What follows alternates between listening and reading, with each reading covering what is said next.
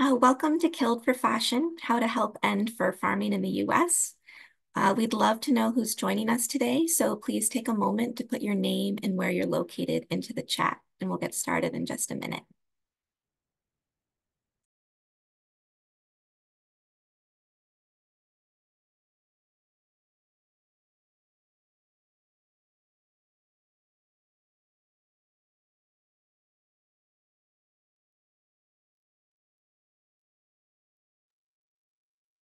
Okay, let's get started. Thank you so much for being here uh, to learn more about exciting policy developments to end the fur farming industry at both the local and federal level, as well as how you can help animals suffering for fashion. So as a heads up, I'll be providing uh, brief descriptions of what you see, of what's on your screen for those who can't see it well. And on this slide is a photo of two minks trapped in a cage on a fur farm. And I'm Liz Cabrera Holtz. My pronouns are she, her, and I'm a woman in my late 30s. And I'm the Senior Campaigns Manager at World Animal Protection US. I want to take a moment to introduce you to World Animal Protection if you're new.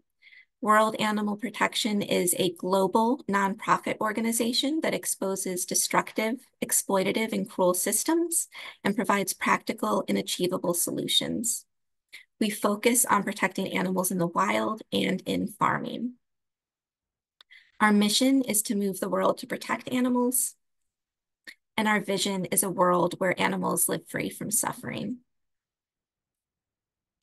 Animals killed for their fur are confined to crowded, dirty cages for their entire lives. They suffer from the moment they're born until their premature deaths. But we're close to shutting down the fur industry, in part thanks to our two wonderful speakers. First, Kate Dylewski is the Assistant Director of Government Affairs at the Animal Welfare Institute. She previously worked at Born Free USA and for the past decade has lobbied at the federal and state levels on issues pertaining to wildlife. Since joining AWI, she has been closely involved with efforts to protect the Endangered Species Act from congressional and regulatory assaults, led coalitions advocating for federal bills to protect wild animals in captivity, and partnered with organizations across the country to push state legislation addressing performing wild animals, wildlife trafficking, and trapping, among other issues. Kate holds a BA from Georgetown University and a Master of Public Administration from American University and lives in Washington, D.C. with her three cats. Max Broad is the founder of DC Voters for Animals, a nonprofit political advocacy organization that lifts up the policies and politicians doing the most for animals in DC. His background is in climate policy, having previously worked for the National Wildlife Federation and as a bioenergy consultant at the US Department of Energy. Max has a master's in environmental science and management from UC Santa Barbara and a BA from UC Irvine. Uh, so there'll be some time uh, at the end for questions. As the speakers present, please add your questions using the Q&A function in Zoom. Uh, you can add questions to the chat, but uh, we may miss them there. But before I turn it over to our speakers, I'm going to give you a bit of background on all the animals or most of the animals suffering in the fashion industry generally. Though please know that this isn't exhaustive. For example, I'm going to skip over issues like wool and down. Every year, millions of animals are caged, abused, hunted, and killed for their skin, fur, and feathers to be used in fashion, uh, for clothing and accessories. Some of the animals who are suffering the most include minks and raccoon dogs for their fur, crocodiles and cows for their skin, uh, and ostriches and peacocks uh, for their decorative feathers.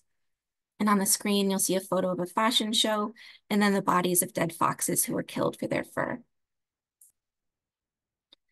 This is a photo of a mink sitting in a typical cage on a fur farm. Animals killed for their fur like minks are confined to these cages their entire lives. They're unable to engage in their most basic natural behaviors. Minks are wild animals. They're semi-aquatic, they're solitary, but on fur farms, they're crammed into these cages with many other animals. They're unable to swim and explore. So unsurprisingly, this causes extreme distress and many minks engage in self-mutilation, um, such as biting their feet and tails um, and obsessively pacing.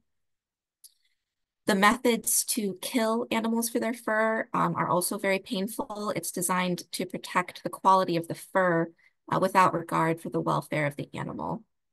So animals are suffocated, electrocuted, gassed, poisoned, sometimes skinned alive, um, or their necks are broken. In terms of skins, I'm referring to when animals like crocodiles and lizards and cows and goats are skinned for leather boots, jackets, purses, wallets, items like that. Unfortunately, crocodile farming is on the rise. Um, every year, thousands of Australian crocodiles live a short, unhappy life before being killed for their skin. To make just a single luxury handbag for the French fashion brand Hermes, four crocodiles are killed.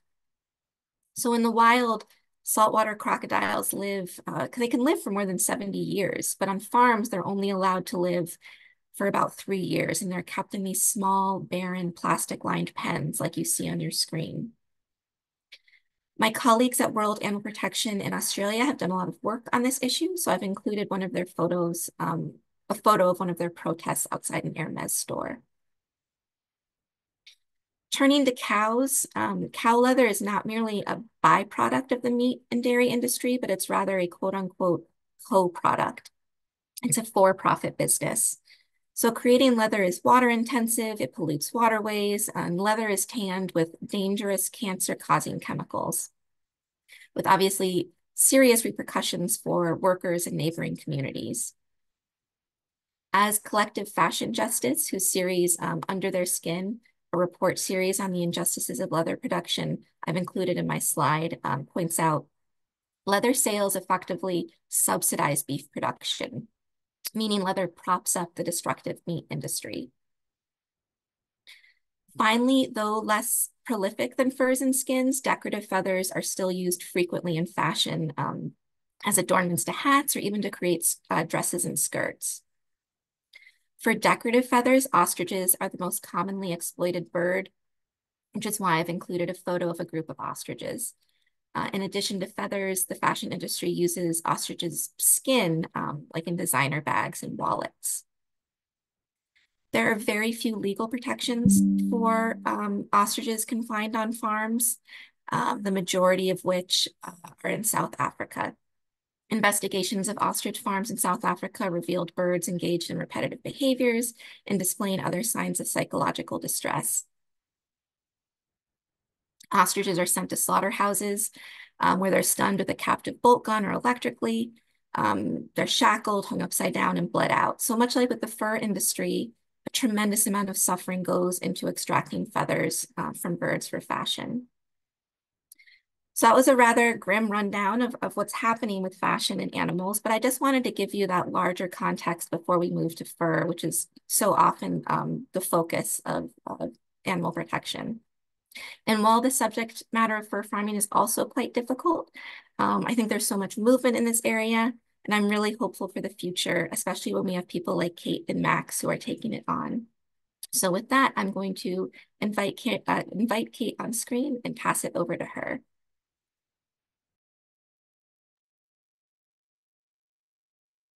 Thanks so much, Liz. Hi, I'm really happy to be here with all of you today. Um, I'm going to follow up that great rundown from Liz about the cruelty that is inherent in the fur and other fashion industries that exploit animals with a discussion of how this issue also crosses over into the public health sphere. Um, specifically, I want to talk about the public health threats of mink fur farming. Next slide.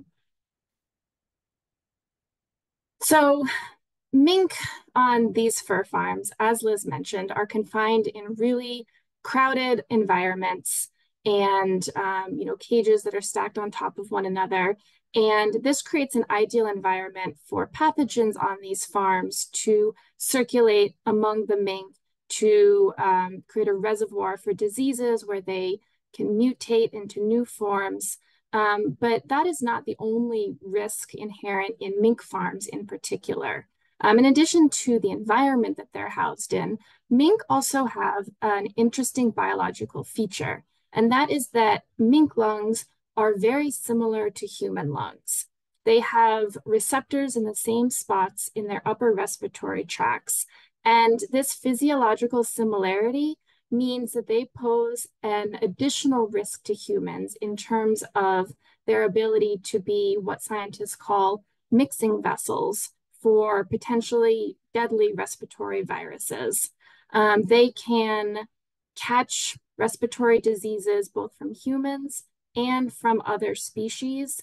And on these crowded farms, as they transmit the virus, um, the virus can actually recombine within the mink into forms that are well adapted to mink lungs and therefore also potentially very well adapted to human lungs.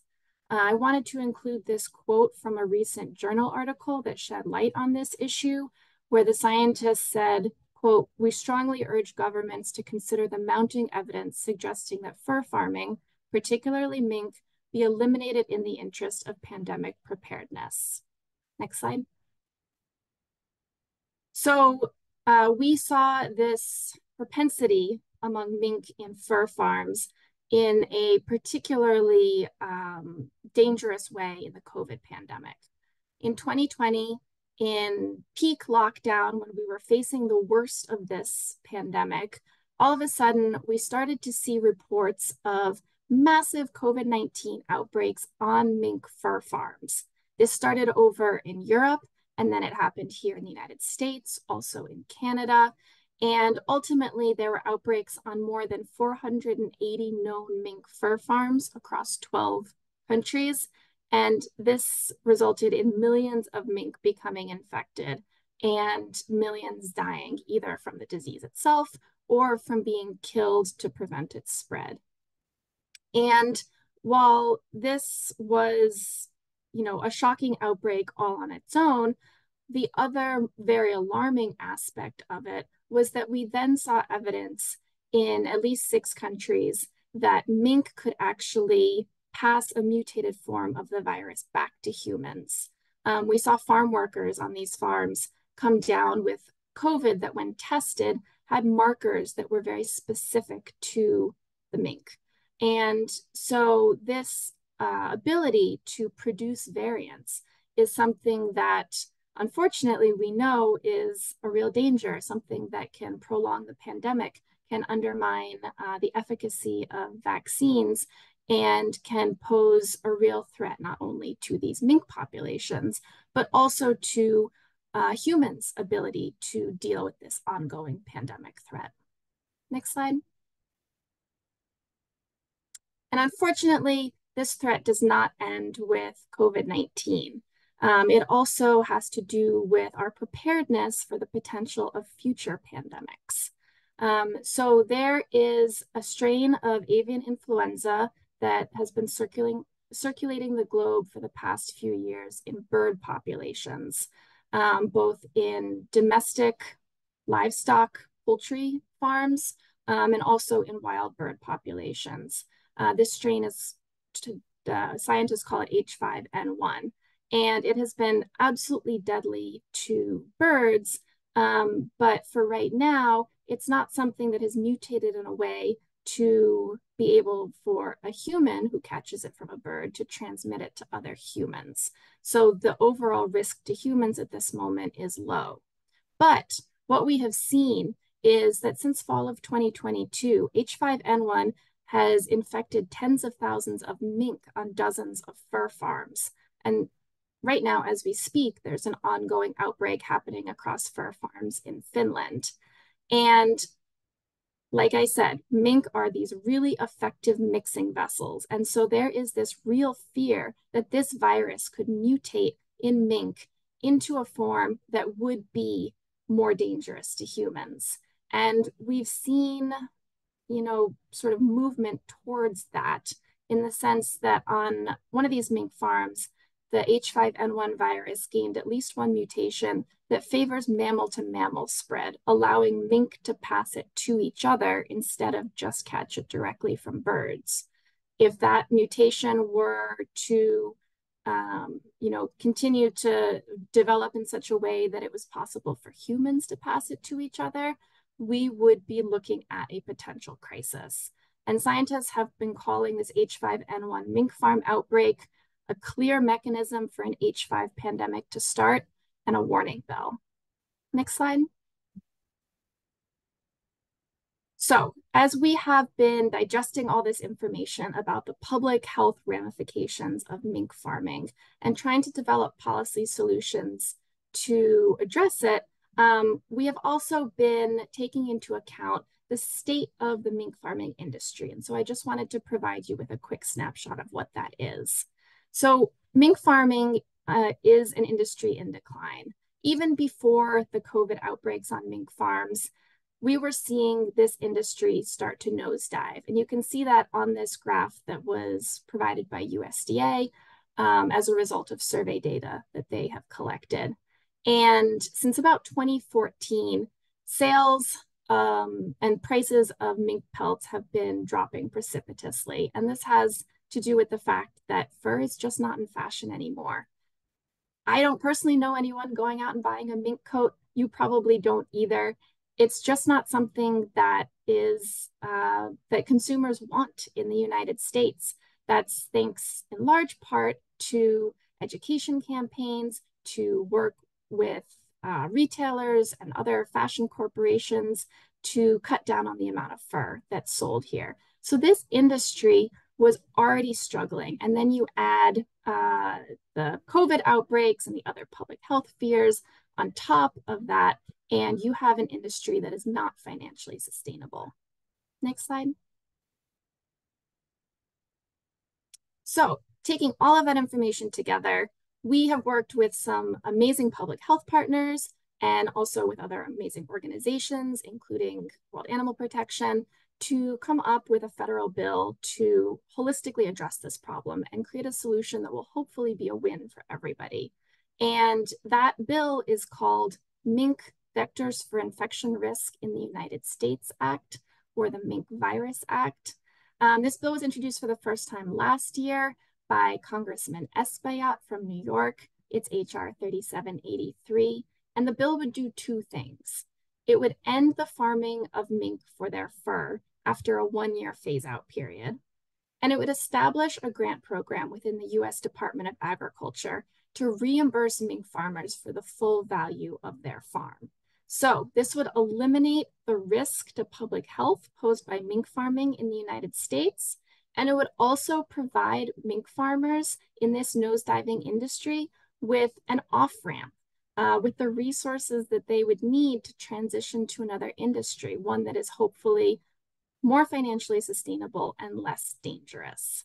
So it's very early days with this bill. Um, we are still working to get momentum and endorsements and co-sponsors, and you can help us. Um, you can go to the link in the chat to take action on this bill, to send a message to your representative in Congress and ask them to please co-sponsor this bill um, because we want to get it all the support that we possibly can. Next slide. And finally, I just wanted to touch on the international response to these disease outbreaks on mink farms to show that the Mink Virus Act is in many ways very closely aligned with what other nations have already done. So you can see this list of countries, mostly in Europe, um, that have banned or in the process of banning mink farming. Some of these countries had already banned it before COVID. Some of them uh, sped up the process of banning it during COVID in response to the outbreaks. Um, and some have implemented bans in response because uh, this public health threat is too great to ignore.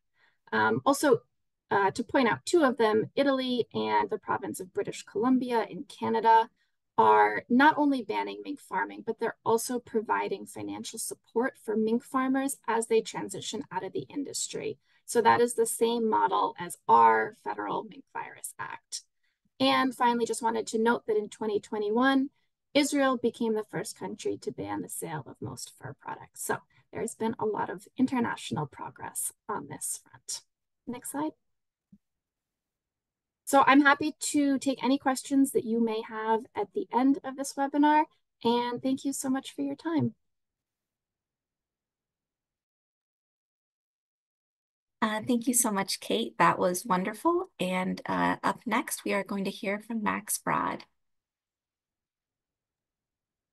Yeah, hi. So nice to be with all of you. Thank you for being on this webinar and you know, just a big thank you to World Animal Protection for convening us for this super important topic, something that I feel optimistic that we're going to have a big win in in the near future. So let's talk about that.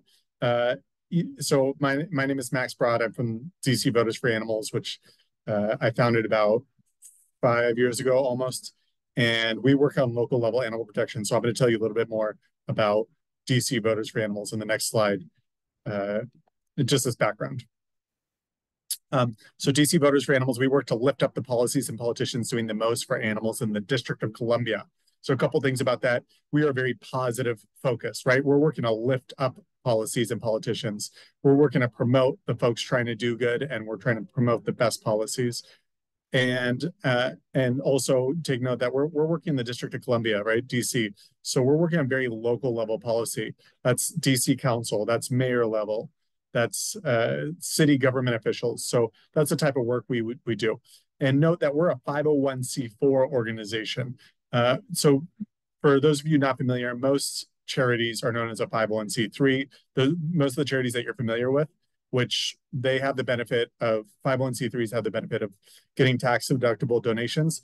The government in its tax code does not want to incentivize you as citizens, you as donors to give to organizations that conduct lobbying and that influence elections.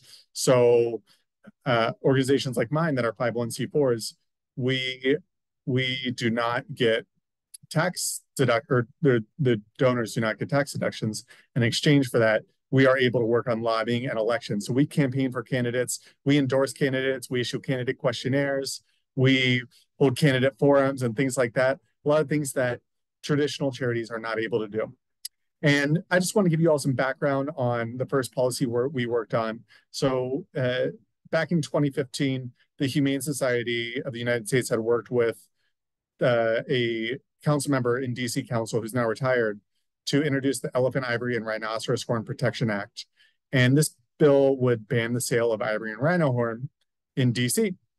And the bill was introduced, and since DC operates on the same cycle as Congress uh, every two years, at the end of the the two year session, the the bill died and since it wasn't passed, it had to be reintroduced the next year. So it was reintroduced in 2017. Again, referred to committee, died in committee, again, reintroduced in 2019. And people are like, who is opposing this bill? Right? Like, is there some big ivory lobby in DC that's opposing this? And so, as y'all know, we started in 2019. That's when we started poking around and seeing well, what is going on here? Like, who is opposing this bill? Why is it not passing? And so we took a look at it and found out that it, there was no opposition. It just wasn't a priority. So it really lit a fire under us as animal advocates to step up and show our democratically elected leaders that this was a priority and that this needed to be passed. So we did things like we partook in a coalition of uh, to do lobby meetings. So we went and met with the legislators. We got together and did social media activism like tweet storms. We did calls and emails.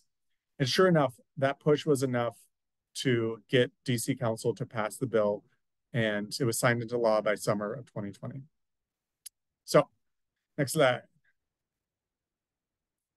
So let's get to the heart of the story here, huh? The DC Fur Products Prohibition Act. So this is a bill that we have introduced in DC Council we're really excited for, and it would be a sales ban on fur products, right? So DC would join the many uh, municipalities and jurisdictions that have passed DC uh, that have passed sales bans on fur products.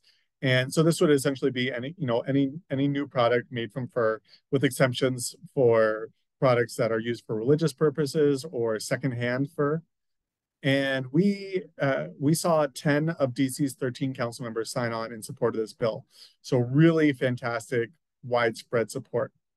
Now you should know that in DC we have no furriers left. Okay, so of course this is kind of a new term for me because I was never shopping at fur stores myself. But furriers refer to stores that that exclusively sell fur coats. We don't have any of those, which is awesome. However, we we do still have a handful of stores that sell products made from fur. So, you know, that kind of put us in this really awesome sweet spot. where we we if this bill is passed, nobody's going to go out of business, right? So we don't have to have this conversation around about, about jobs and small businesses. But there are still companies and a lot of like major international global conglomerate companies that are selling fur in DC. And so there is still a reason for us to pass this bill. We're not going to be hit with the argument like, what does it even matter? This bill isn't going to make an impact. No, it is going to make an impact both symbolically as the nation's capital and in terms of the stores that are still selling fur in Washington, D.C. Boom. All right, next slide. So how, how do we get this bill introduced in the first place, right? Where, where is it coming from? And it's actually a really sweet and sad but heartwarming story. So uh, in, in the first election that we engaged in in 2020, we put together a, a candidate questionnaire and we sent it to all the candidates running in DC's uh, DC council election. And one of the candidates, what we did was we compiled a lot of the priority issues that the community was feeling. And so, of course, one of those questions was on fur and whether candidates would support a ban on fur products. And one of the candidates came back with a uniquely wonderful response, and that was uh, DC's former mayor and now Ward 7 council member, Vincent Gray. And uh, Councilmember Gray said he he really wanted to support our our efforts at DC Voters for Animals. And when we spoke with him, he especially called out fur and and we asked why fur was so important to him, and he shared with us that his late wife Loretta was a big animal advocate, and her pet issue, so to speak, was uh, abolishing the cruel acts of the fur industry.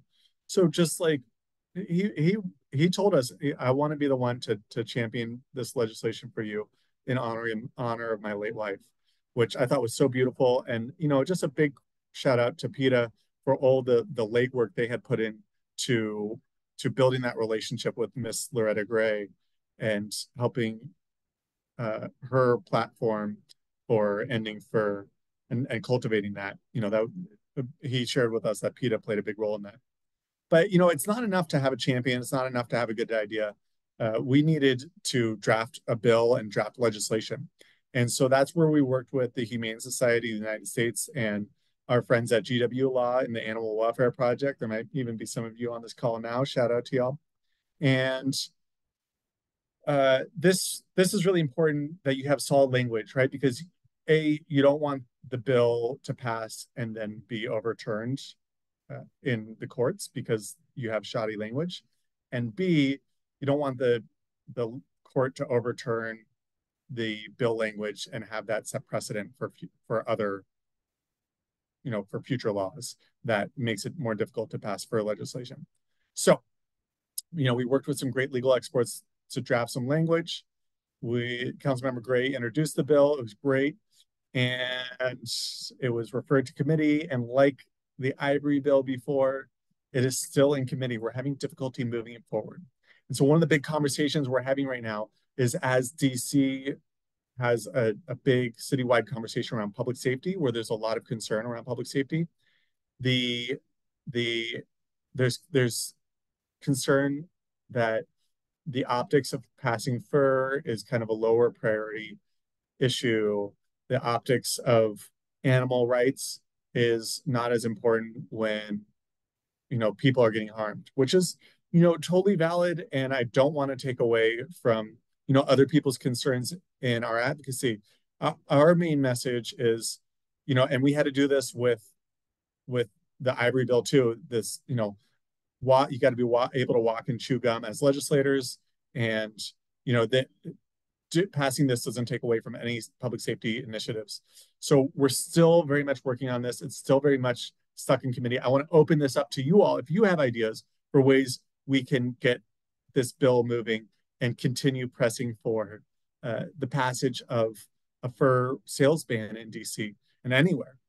And but I'll share with you one creative way that we've pursued.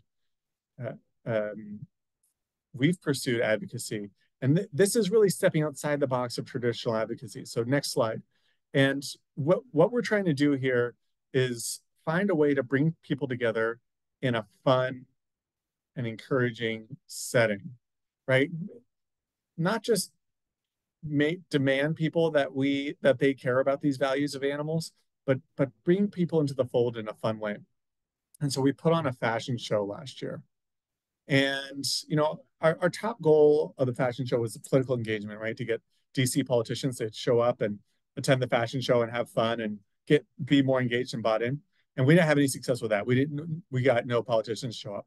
However, we were able to have mad success in branding of the fur advocacy, right? And so essentially, you know, this whole concept of promotion versus attraction, and we could promote our values all we want, but it doesn't mean they're going to be heard and doesn't mean they're going to be internalized by the general public.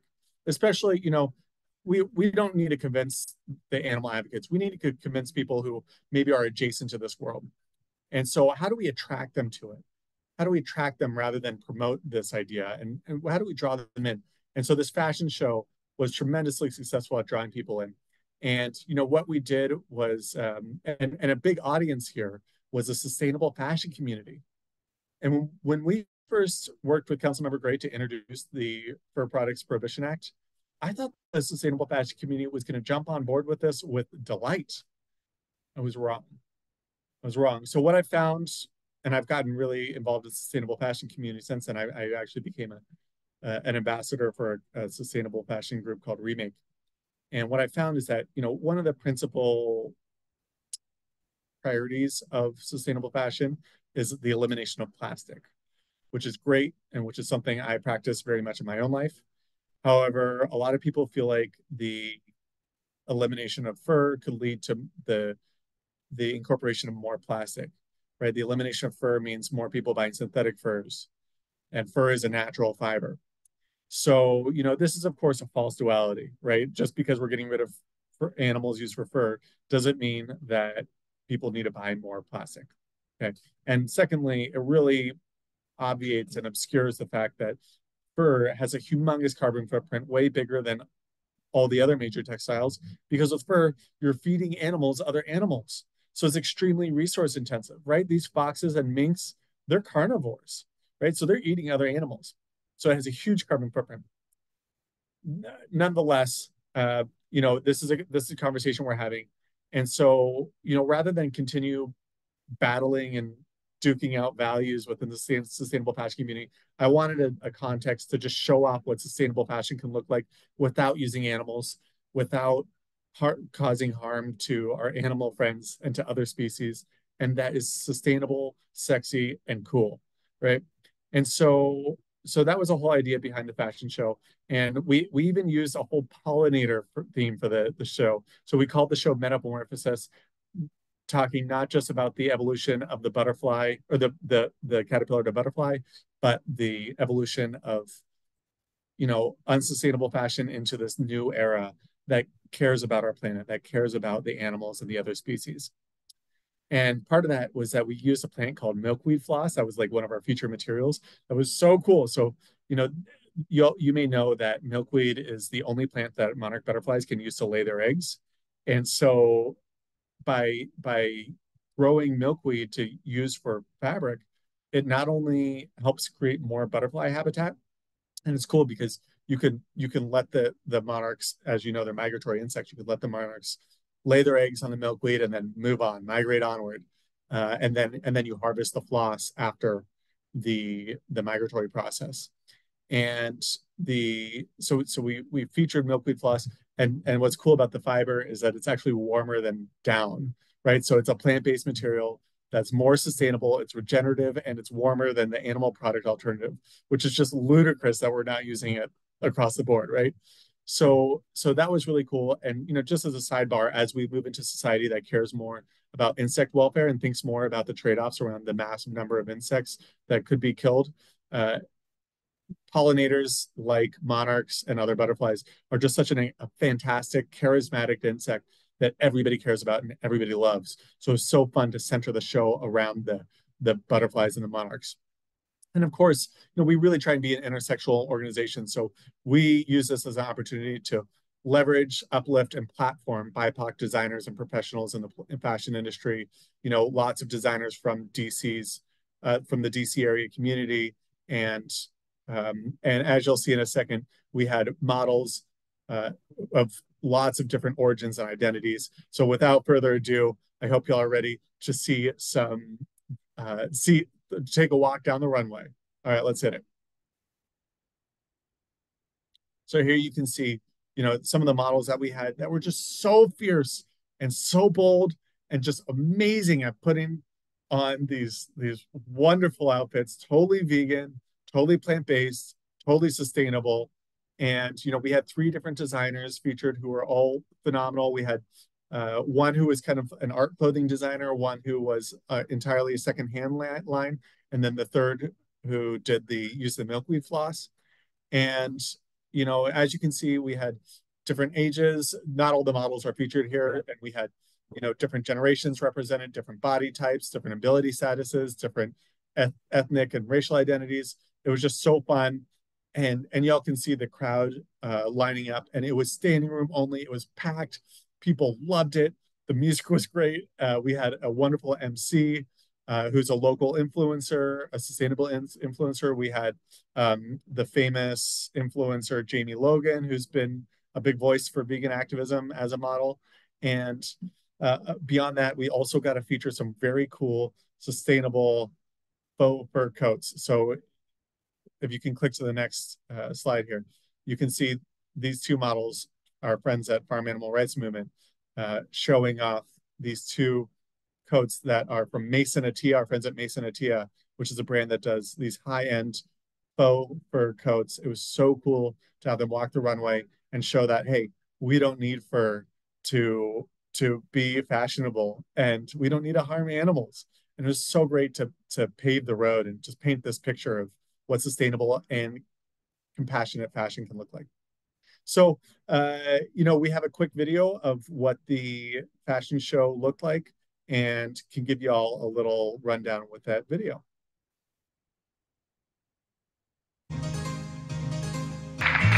Y'all, I cannot tell you how amazing this is. This is such a moment for me. I've been dreaming of this for two years.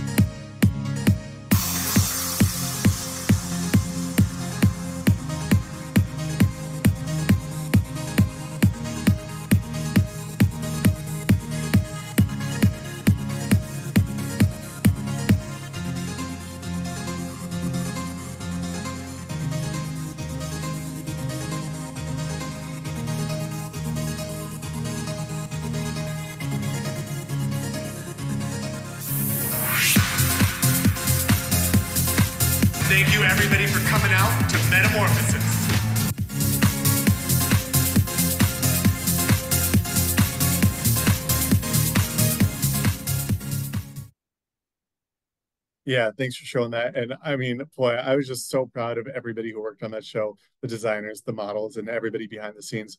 It was super fun. And it just really enshrined for me how I I love parties as an advocacy tool. And really, I just want to party my way to animal liberation and bring people into the fold through these really fun and engaging events. So happy to answer questions. Thank you so much for World Animal Protection for having me on here.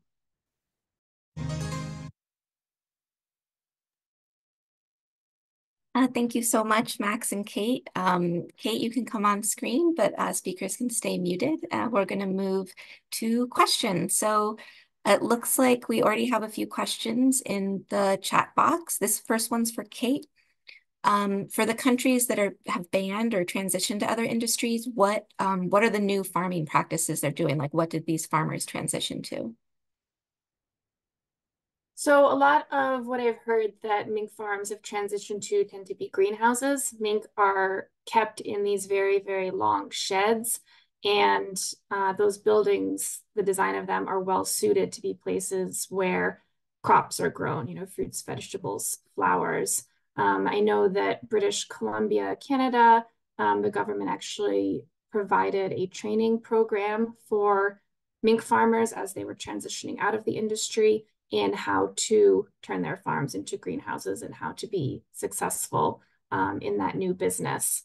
I've also heard a few anecdotes of other farms that took creative approaches, um, including one who turned that long shed into a bed and breakfast pancake house. So there are lots of options. Awesome. Oh, very interesting.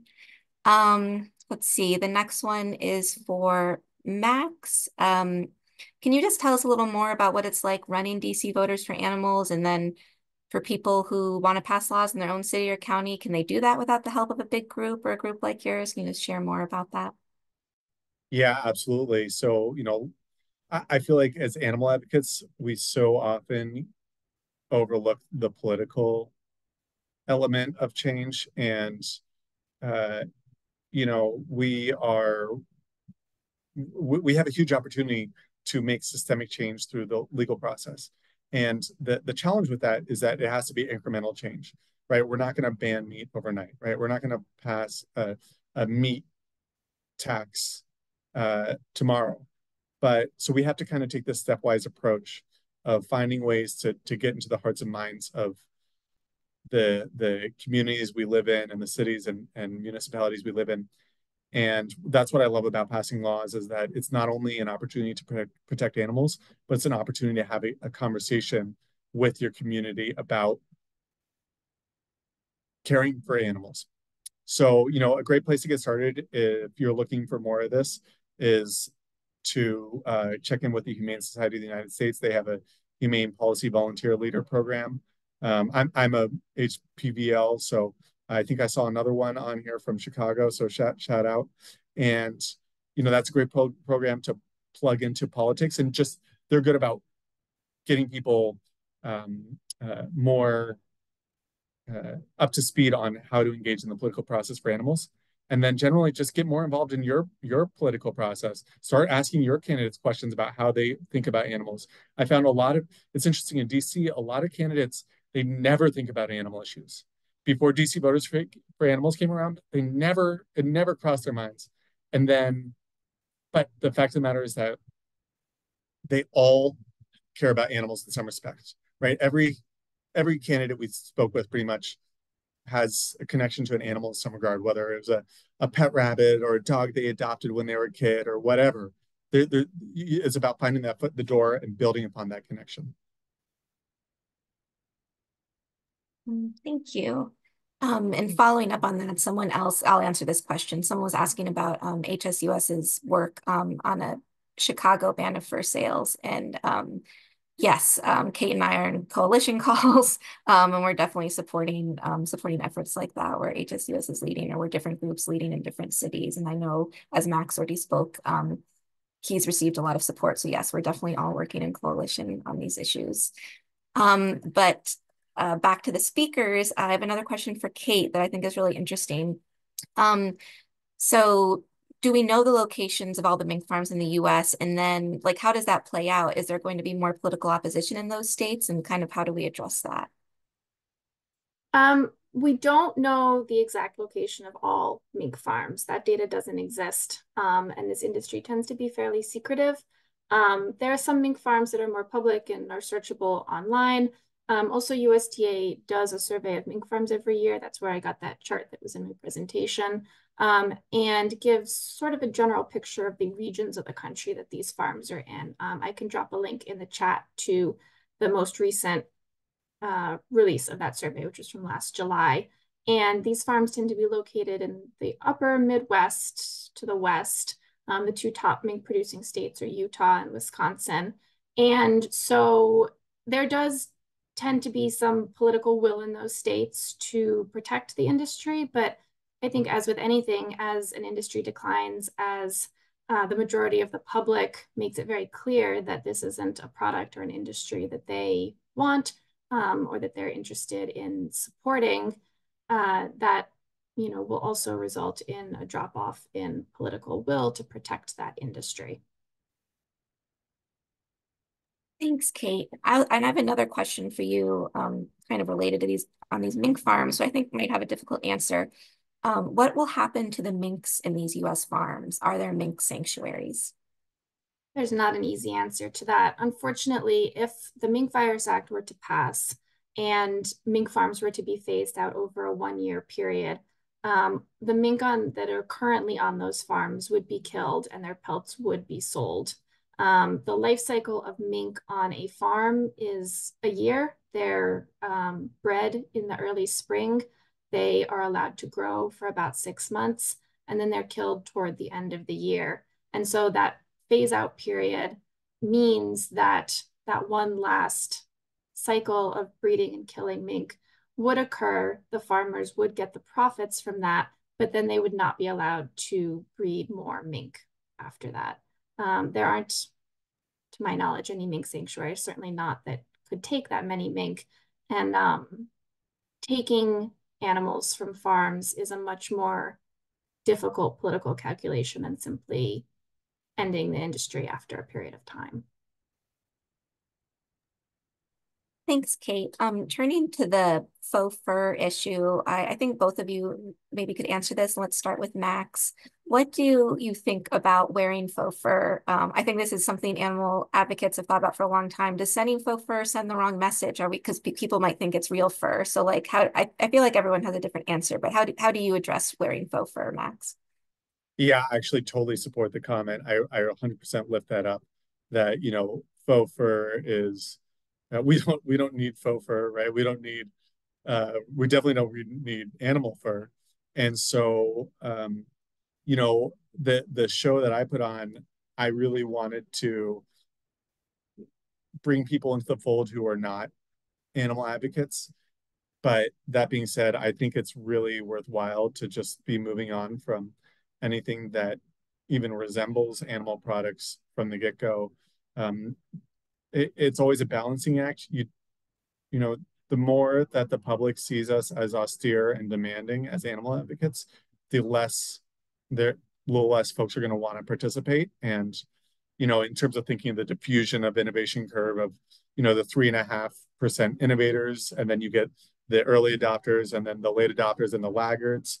You know, you're, you're gonna you're gonna shift people away from that. The more stringent your criteria are. But that being said, we don't want to compromise our values in uh, as animal advocates, and we don't want to compromise the path to liberation for animals. So I definitely think it's worthwhile having that conversation and thinking about ways that we can shift off of anything that even looks like it's coming from animal products. Thanks, Max. oh yeah, Kate, could you expand Sorry, on that? I was going to add one more yeah. thing to that. I agree with everything Max just said. And I also think that um, a way to be really effective in your fashion advocacy is that if you do wear faux fur or if you're an influencer and you're posting about it online, to be really, really vocal about the fact that it's faux fur. Um, for example, I, I don't know how many of you have seen lately on social media that there is a trend going around of dressing like a quote unquote mob wife. Um, this has to do in large part with wearing what looks like fur coats. And I have been really proud of the social media influencers who have um, done this trend, but have been loud and proud about the fact that they're doing it using faux fur and the brands of faux fur that they love, um, and making sure that people know that they're cruelty free. And it's really important for everyone else to shop that way as well.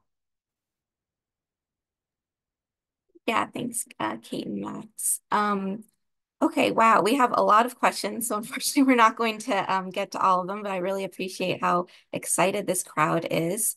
Um, I have one more, yeah, following up on that, Kate, can you, Max touched on this, but can you speak a little bit more about um, sustainability, it's not just even faux fur, but sustainability of these other fashion products that are coming up now? Absolutely. Um, I think Max did an effective job of, of touching on that. Um, it's definitely the case that fur farming is a resource intensive industry. Um, there's air pollution, there's, uh, you know, the release of greenhouse gases from both the animals themselves and from all the transportation that's involved. Um, there's no way to do factory farming without having a serious impact on the environment. Not to mention after the animals are killed, the chemicals that are used to um, tan and cure those pelts. Um, and so I think that while there is no environmentally friendly way to farm fur, there is an environmentally friendly way, at least comparatively, to produce faux fur. Um, there are so many innovative fashion brands now that are producing uh, these materials from plants and that are biodegradable and that are just leaps and bounds beyond what I think people pictured in the early days of fake fur, which was more plastic based. Um, and so I think, you know, just a quick search online and you're going to find some of these really incredible innovators and designers um, that are not only helping animals, but also protecting the environment. Thanks, Kate. Um, looking into the future, um, Max, what are you most hopeful? What, what would you like to see happen in the next five years with the fur industry or animals in fashion generally?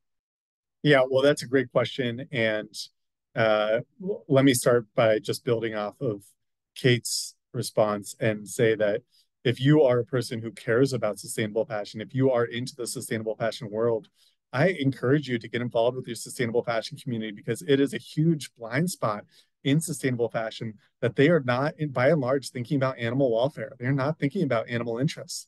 And so, um, you know, if you're a person who likes engaging in diplomatic conversations and and finding ways to help people see how animals do fit into their values, I encourage you to get involved in sustainable fashion.